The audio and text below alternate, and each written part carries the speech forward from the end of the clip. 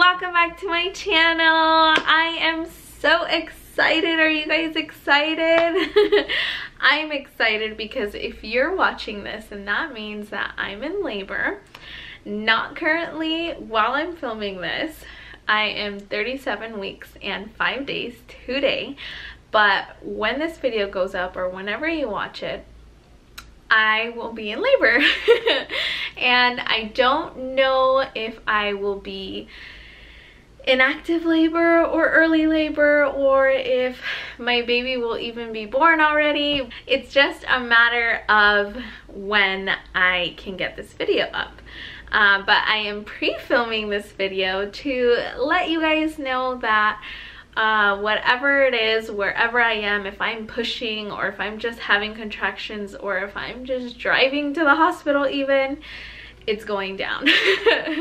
it's baby time. So I just saw this idea. I saw um, a few other people do this and I thought it was really cute just to let you guys know that um, like I said it's baby time so I am really excited and like I said I am 30 weeks I am 37 weeks and 5 days and if you watched my 37 week vlog uh, then you know that at this point at my last appointment my doctor told me that I was about a fingertip dilated. He didn't give me a number, but that's what he said. So that's where I'm at today.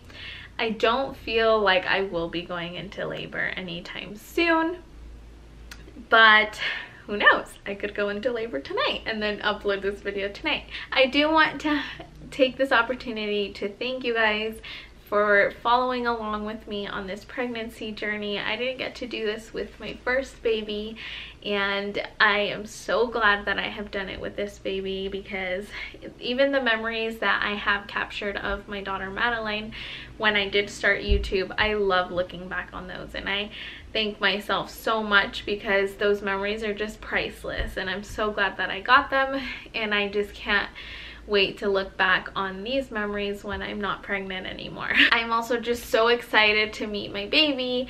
You guys know that we don't know what the gender of the baby is, so it's going to be really excited to it's going to be really exciting to finally find out if baby is a boy or a girl.